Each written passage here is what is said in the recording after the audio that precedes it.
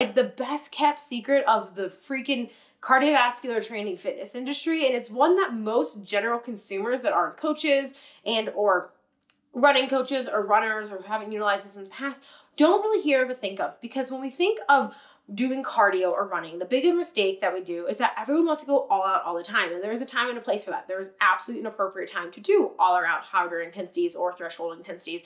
But zone two is that bread and butter of when you're increasing that heart rate to 60 to 70%. So a little bit more of what your max heart rate is but you are able to still accumulate a ton of volume. And what you get from zone two specifically is this robust cardiovascular response where you can do the thing that we love to talk about all the time is creating a cardiovascular base or a cardio base. So this reserve of cardiovascular capacity that you're able to pull from when you're doing higher, harder intensities, recovering between intervals, deep in a race, all of these things. So think about it like when you're doing like your hypertrophy, maybe your GPP block, um, and your strength training block, you're doing like four by 12 in things. You're creating just this capacity, this reserve, um, high volume, but you can kind of do a little bit more um, within those rep ranges to accumulate that. Kind of same here in zone two. So you aren't doing the most fatiguing work, it sometimes can feel almost like it's too easy. And that is the point. So, zone two is intentional. I want to be very clear about that. Zone two is very intentional training. Um, it's not just walking around the grocery store, it is slightly increased intentional cardiovascular training.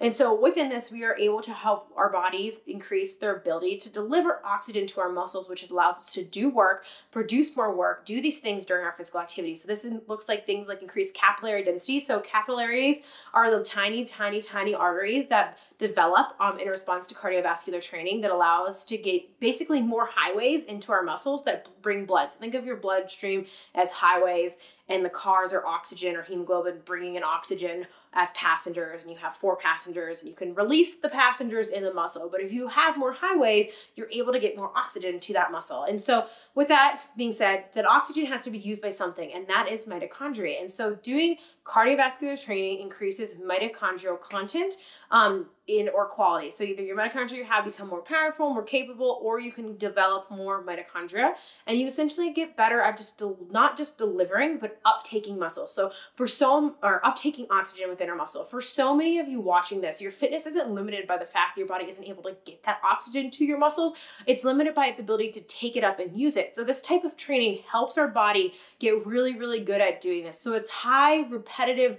Um, easy contraction training that allows us to also stimulate and address or in stress um, our fat oxidation pathways. And so while you're still going to be utilizing a ton of carbohydrate when you're doing cardiovascular activities, we do want to improve our body's ability to do oxidative metabolism or use oxygen, um, rely on oxygen and be able to oxidize fat so it can spare carbs and or as an alternative fuel source along with carbohydrate during our higher and um, longer whatever cardiovascular activities that we are doing. And so um, all of this is stimulated through these high repetitive contractions, easy type training, and that allows us to improve something called our cardiovascular base. And this is this large reserve. And the nice thing about zone two, like I mentioned earlier, is that you can do a really high volume of it. You can do a ton of it. So when I'm training for an ultra marathon, I do a ton of zone two training because you can accumulate a ton of volume within that. And training for ultras requires a lot of volume of training, but you don't need to be training for an ultra marathon to get benefits from this. You can just be someone who does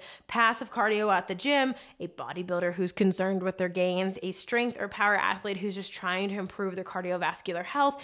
And what's nice about zone two training is it isn't highly fatiguing. So not only does it allow us to accumulate a high volume of training, which allows us to get a high training stimulus and um, that is really indicative of the outcomes that we're going to get. That doesn't mean me saying more is better, but we doing more over time as we adapt is really good and really important. So more miles are going to make you faster, better runner. More cardio is going to make you more cardiovascularly trained runner. And having this reserve and base will also, yes, help you with your metcons and, and other things like your group fitness classes, things like that but you can do a ton of it, like I said, but it's not as fatiguing. And so this is a big reason when it comes to hybrid training, you or me or the people who follow my EWEC hybrid and or what I do are able to do cardiovascular training along with resistance training is because we're not making every single cardiovascular effort we make these high hard intensity speed work, threshold, max out all the time things, but we can accumulate volume that stimulates those pathways in large amounts that allow us to increase cardiovascular demands in a way that also isn't super fatiguing on our neuromuscular system and or will essentially buy from our fitness in our next workout, whether that's strength or speed work or whatever it is, especially as we adapt to it over time. So, zone two is fantastic. I love it. Um, there's either polarizing training or pyramidal training, and there's some controversy in the endurance world about what's better. But really, theoretically, polarized training is that you're gonna hang out and do a ton like 80 20 in zone two, and then 20% or 10% even. Um, in those higher zone models. And then pyramidal is kind of like, okay, you do a ton of zone two training, and then that 10 to 20%, depending on your total training volume, will be zone three, four, five, not just completely ignoring three. So we'll get to three in a second here. So, with that being said, zone two is your friend.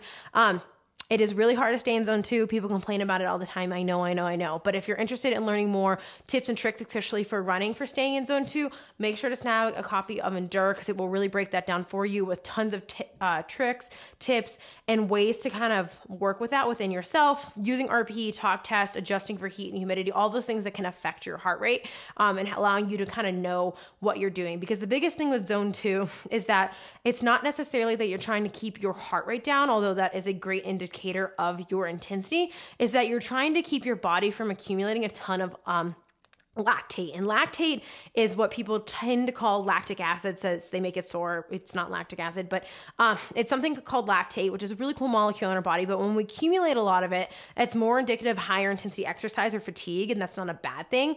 But really, the goal with zone two training or easier training is to keep that lactate level lower. So if you find yourself starting to breathe heavier, um, unable to talk, um, unable to feel a sustainable pace that feels almost so easy that you can go all day, um, and or any kind of muscular fatigue as you're going, you're probably going too hard. So really, well, heart rate doesn't need to be perfect. There's other ways that we can assess this intensity. I think some people use their inability to keep their heart rate in zone two as an excuse to not do it, but really it takes time and practice give it more than a couple weeks, like I'm talking months of doing it, even if your heart rate kind of spikes and goes back down, you have to run, walk, all of those things.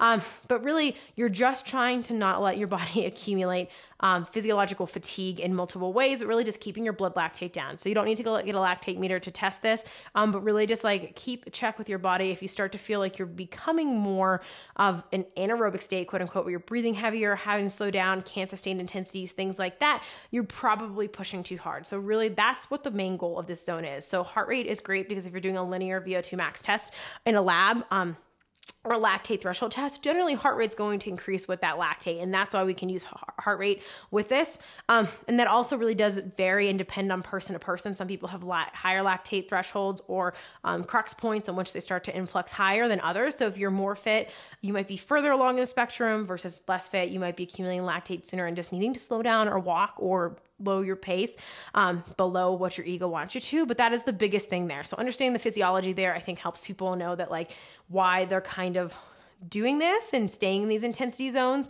um, and avoiding things because then we get into zone three.